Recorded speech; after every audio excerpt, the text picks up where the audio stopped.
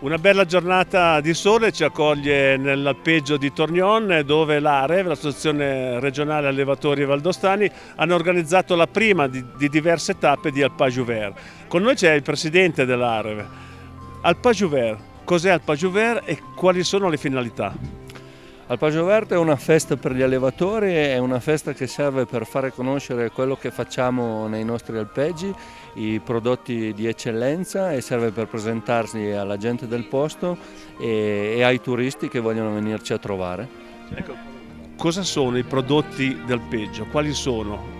Ma in primis sicuramente la fontina, poi ci sono altri, altri prodotti che, che, vengono consumati sul posto, offriamo polenta, spezzatino, e vari tipi di tome, e tutti i prodotti del territorio. Ecco, soprattutto io vorrei sottolineare un pochino anche la carne, la carne valdostana che state facendo già da diversi anni un bel, una bella promozione, diciamo che abbiamo visto che sta andando a ruba tra virgolette. Sì, sì, sì, il progetto della carne valdostana sta andando, sta andando molto bene e in primis siamo noi nell'area che, che, spingiamo sulla carne valdostana, è il prodotto su cui noi abbiamo più competenza per, per la promozione. Gli alpeggi. Gli alpeggi sono praticamente un fiore all'occhiello per la produzione della fontina. Cosa ha di diverso dalla fontina, diciamo, di stalla di pianura?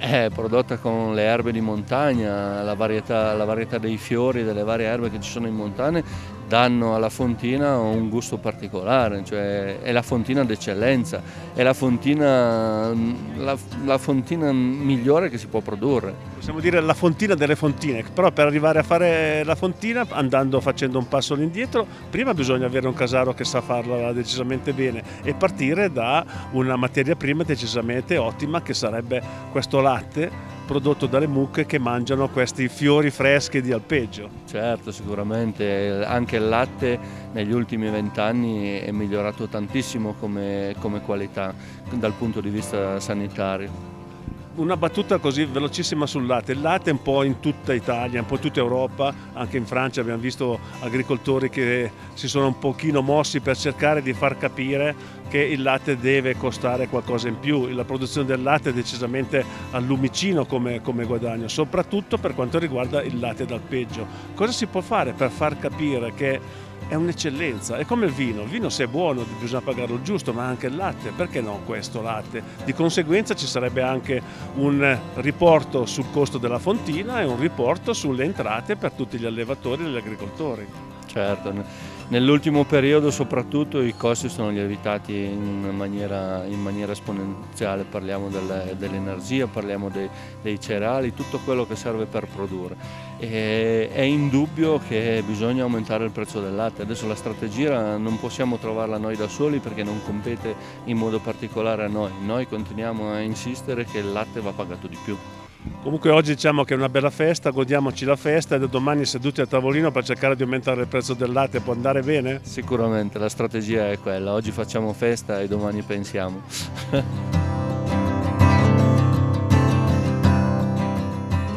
Assessore, oggi è una giornata decisamente interessante. Diciamo che numerose sono le manifestazioni che organizzate durante l'arco dell'estate, però al Pagio Verde ha un senso decisamente interessante far conoscere gli alpeggi, ma non solo ai turisti, ma anche ai valligiani che eh, magari non hanno sempre l'occasione di.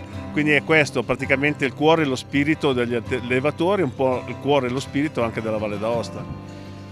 Sì, Alpage Uver segna un po' l'avvio no, di quello che è la stagione estiva della nostra regione un momento di riscoperta del territorio per magari i turisti o coloro che arrivano da più lontano e un grande momento di aggregazione anche per i nostri valligiani, quindi che dall'Alta Valle si spostano e dalla Bassa Valle per veramente un momento di incontro in un periodo sicuramente non facile, soprattutto per il settore agricolo, però bisogna eh, guardare avanti con, con, speranza e con voglia veramente di, di fare e di fare sempre meglio. Ultimamente molti sono i giovani che si sono avvicinati a questo mondo, chi ha diciamo, ereditato dalla famiglia, chi si è messo proprio in proprio da poco tempo per portare avanti queste tradizioni, ma anche perché a questo punto possiamo dire che c'è uno spiraglio anche per quanto riguarda la rimunerazione di questo tipo di lavoro.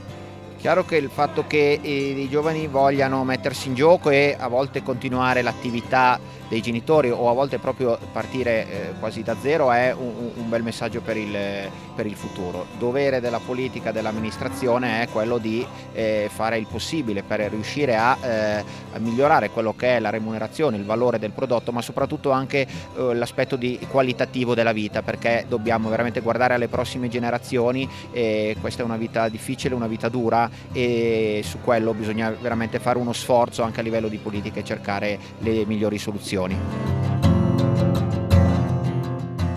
Siamo con Luigi, Luigi Mus, che è il proprietario, conduttore dell'alpeggio con tutta la famiglia, diciamo già da qualche generazione. Innanzitutto grazie dell'ospitalità, è proprio bello vedervi e soprattutto ci fa riflettere, ci fa riflettere del duro lavoro che fate in alpeggio, 100 giorni veramente diciamo stressanti. Eh, raccontaci un pochino, tu non fai la fontina però la conferisci al caseificio, il latte. Sì, noi abbiamo 90 bovine da latte e qua a Tornion conferiamo il latte al caseificio Valle del Cervino. E niente, il lavoro adesso come adesso cioè, è sempre stato un lavoro duro, comunque impegnativo, di passione, perché se uno non ha la passione non lo fa. E questo vorrei sottolinearlo. E certo al giorno d'oggi andare avanti è abbastanza dura, poi con eh, gli ultimi due anni adesso, soprattutto con il carro vita, l'aumento di tutte le materie prime e tutto, mandare avanti un'azienda è, abbastanza, è molto impegnativo. Il lavoro non ci manca e ringrazio la mia famiglia che mi aiuta, mio papà, mia mamma, la mia compagna Giulia, futura moglie e... Questo l'hai svelato adesso, adesso lo sa lei? Sì, sì, no, no, lo sa, lo sa. E niente, sono contento, son contento della vita che faccio perché se no, ovvio, sono nato qui e quindi ho ereditato da papà, prima ancora dal nonno e quindi è stata tutta una generazione di, di questo lavoro, diciamo, di, questo, di questa vita qui. E niente, speriamo, se, spero sempre, che dico sempre tutti gli anni, speriamo che migliori, che adesso grosse grosse possibilità di migliorare, di vedute o che così che migliori il lavoro, che il guadagno, non vedo, però oh, andiamo avanti, siamo una famiglia, ci aiutiamo l'uno l'altro, poi cioè, anche mio fratello, le mie sorelle, tutti che ci aiutiamo a vicenda, quindi non siamo da soli per fortuna, siamo una famiglia abbastanza unita. E, e niente, sono... Eh... Diciamo che comunque sono decenni, non anni, sono decenni sì. che si dice speriamo che il prossimo anno vada meglio di questo. Però voi, diciamo che il vostro lavoro è sempre questo, conferite il latte, quindi la variante è vendere il latte un po' più eh, a buon prezzo, cioè non proprio sottovalutato così, sottostimato per, per, perché è, è, la vostra fonte di reddito è il latte, quindi il latte è pagato veramente molto poco, quindi è, dobbiamo capire che bisogna pagare più il latte, è tutto praticamente un cane che si morde la coda, il latte viene più pagato di più, voi state meglio, la fontina viene venduta al prezzo giusto che deve essere venduta perché la, la fontina è un disciplinare ferreo, l'unica eh, DOP a livello europeo che è un disciplinare del genere, quindi bisogna semplicemente far capire che poi il latte che si fa in alpeggio rispetto al latte che si fa in stalla in pianura è tutta un'altra cosa, vero? Quindi è da lì che bisogna cominciare a far capire dove cercare di portare, migliorare diciamo, le condizioni di vista vostra e il, il, la vostra remunerazione. Sì, eh, dispiace ancora che c'è ancora qualcuno che fa finta di niente su questo, perché comunque il problema c'è, è enorme, è da anni, come giustamente hai detto, che questo prezzo della fontina deve aumentare. Perché noi veramente adesso come adesso siamo veramente, io penso, io parlo per me, ma direi in generale tutti, siamo veramente tutti allo stremo, chi fa questo lavoro, che comunque ha l'alpeggio, che tutto ha la manodopera, deve avere dei dipendenti, deve avere eh, tutta una serie di cose che comunque ti portano a, che devi, che devi spendere, devi, comunque è un caro vita, capisci? Quindi il guadagno del latte adesso come adesso pagato così è veramente poco. Noi non ci stiamo dentro, ecco, andiamo avanti come dico perché sia la passione, sia tutto, ma e ripeto, c'è ancora qualcuno che, che effettivamente ci dà, che dovrebbe comunque appoggiarci ma ci dà, ci dà contro e questo ci fa veramente male, ma speriamo che le cose cambiano e, e niente, la Fontina deve, deve, veramente, deve, veramente, prendere un piede diverso da quello che è adesso a livello economico, a livello di marketing, a livello eh, estero, perché comunque io eh, ho la compagna della Sardegna, piccola tra parentesi, non sanno ancora cos'è la Fontina. E questo è veramente un dispiacere, ho avuto la fortuna di andare giù in Sardegna tre giorni e, e veramente non sanno ancora cos'è la... Questo fa veramente male al cuore che in Italia noi la Val d'Aosta, come giustamente hai detto prima, con un disciplinare così, con questo formaggio non sia conosciuto ancora veramente. Questo fa male, però speriamo, come dico sempre, che le cose cambiano. Pian piano andiamo avanti e voilà. Non ti faccio né in bocca al lupo né in culo alla balena, diciamo che siamo dalla tua parte, siamo tutti dalla, tua, dalla vostra parte, vi, son, vi, sosteniamo per quello che possiamo e finiamo con un grazie, grazie mille per quello che, che fate, per quello che ci portate ancora sulle nostre tavole, perché senza di voi saremo alla plastica decisamente da mangiare. Grazie ancora. grazie mille, arrivederci. Ecco, con Lidia invece andiamo a parlare dei prodotti, prodotti che si ottengono da questo buonissimo latte che viene prodotto qui in alpeggio. Allora, i prodotti ovviamente, il principe è la fontina, vero? È la fontina, è la fontina eh, il principe della cosa, insomma, non so come, come, spiegare, della Valle d'Aosta è la fontina, ecco. Poi tanti altri prodotti, ma soprattutto la fontina. Allora, che particolarità deve avere questa fontina? C'è un disciplinare che è decisamente molto ferreo, ma poi però queste qua di alpeggio hanno un particolare, un altro gusto. Sì, ha veramente un altro gusto, perché eh, le mandrie salgono in montagna e mangiano tutte le primizie, diciamo, le violette, tutta l'erba più buona. E la fontina in questo caso è veramente molto più buona che quella de, della, delle cooperative del, di, di, sotto, della, del, di, di, pianura, diciamo di pianura, così. Eh? Di pianura. È ecco. ovvio che se l'animale mangia bene, fa sì, un buon latte, viene sì. fuori anche un buon prodotto, che però bisogna essere capaci a fare. Sì, eh? ecco, per farla mm, noi l'abbiamo fatta per tanti anni, eh, la fontina ci va un, ci va un po' di, di, non so come spiegare, di, di, di pazienza, perché bisogna mettere il quaglio e poi si aspetta e poi dopo un momento si accende il fuoco e poi si gira un 48-50 minuti e poi scende in fondo, poi si prende con la benda, si tira fuori e si mette dentro dei cerchi che poi viene la fontina rotonda, diciamo. Sì, è tutto un disciplinare molto sì, ferreo che comunque sì, poi una cosa che molto eh, che voi le mucche vengono munte due volte al giorno. E, volte e, la fontina deve essere fatta entro un paio d'ore, quindi due volte al giorno fate anche la fontina. Sì, due volte al giorno si fa la fontina. Le mucche vengono munte alle due e mezza, alle tre del mattino, alle 6 mettono il quaglio e verso le 9 mm, è finita. È, pronto, è pronta la prima. Ecco, è pronta la prima. Altri prodotti che vediamo qua ce li descrivi? Sì, è il burro. Il burro praticamente facendo la fontina non viene fatto di, di panna, viene fatto di, della, della, del latticino che viene dopo la fontina.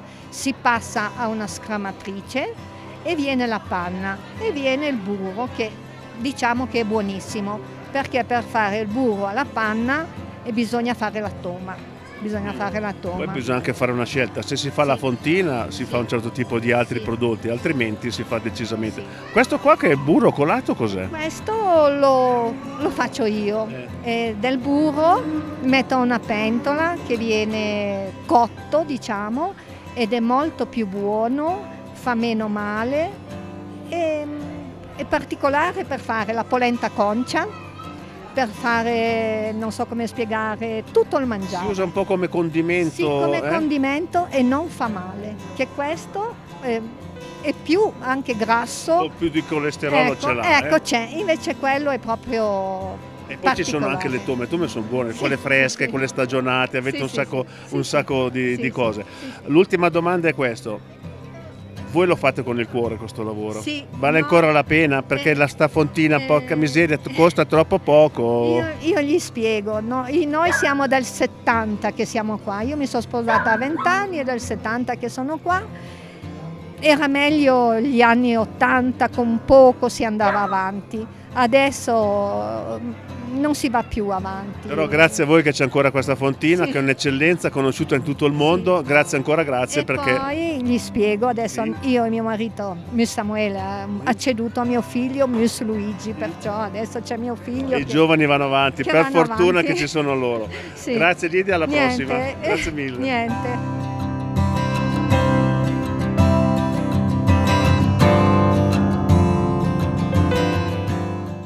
Siamo con l'agente Mattia Colella, è bello anche vedere il corpo forestale valdostano in questi appuntamenti, appuntamenti dove ci sono sia valligiani ma soprattutto turisti per far capire e far, soprattutto far rispettare la flora e la fauna delle Alpi.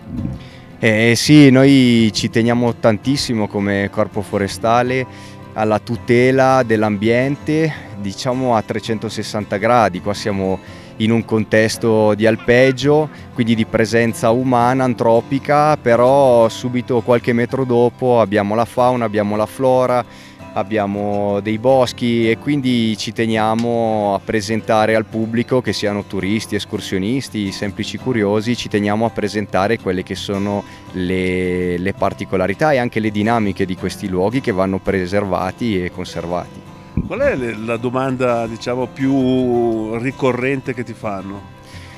Ma beh, per quanto riguarda la fauna, che in genere è l'argomento che interessa di più, le domande vengono orientate quasi tutte o sull'aquila che piace o il lupo, ecco il lupo va, va per la maggiore di questi tempi, ma se no anche tutta la parte dei palchi sempre interessa molto le persone, camosci, stambecchi è sempre un argomento che piace, capire come si possono contare gli anni, come si possono riconoscere gli, gli animali osservati nel loro ambiente naturale, eccetera.